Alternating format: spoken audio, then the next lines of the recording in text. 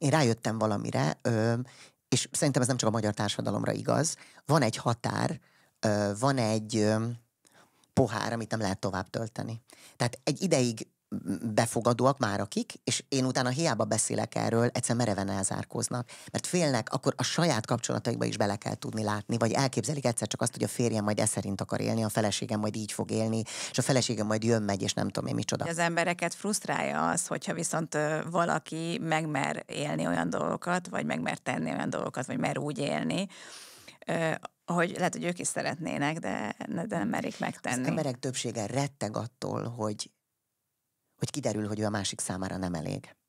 És ha valaki fölvállalja azt, hogy mi ö, szexuális szabadságban élünk a kapcsolatunkon belül, lelkileg egyáltalán nem. Tehát én nekem ő a tüdőm, a májam, a, tehát hát egy létfontosságú Sőt, ez olyan annyira, hogy, hogy ez probléma is a kapcsolatunkban, hogy túlságosan nagy a szimbiózis, tehát hogy ezt próbálunk leválni egyáltalán egymásról, mert ugye nagyon sokszor azt gondolják az emberek, hogy minek vannak ezek együtt, hát akkor most Ó, mindenki megy ide, meg oda. Az emberek, igen, igen, hogy megy ide, meg oda, tehát hogy most igen. miért. Amit csupa nagybetűvel szeretnék mondani, hogy mindenkinek ilyen szerelmet kívánok mint amilyen nekem a kíra.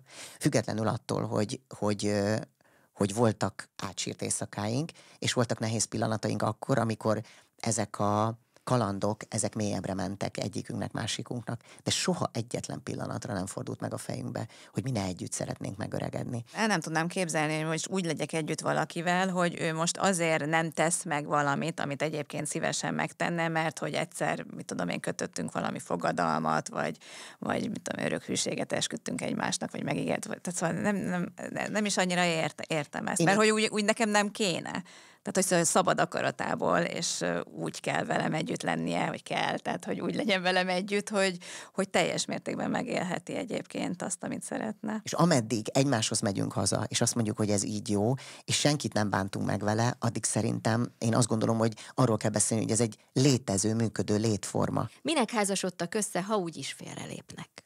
Tehát akkor magyarul csak azért házasodunk össze, mert akkor többé nem lépünk félre. Tehát a házasság és minden, és minden házas monogám. Igen.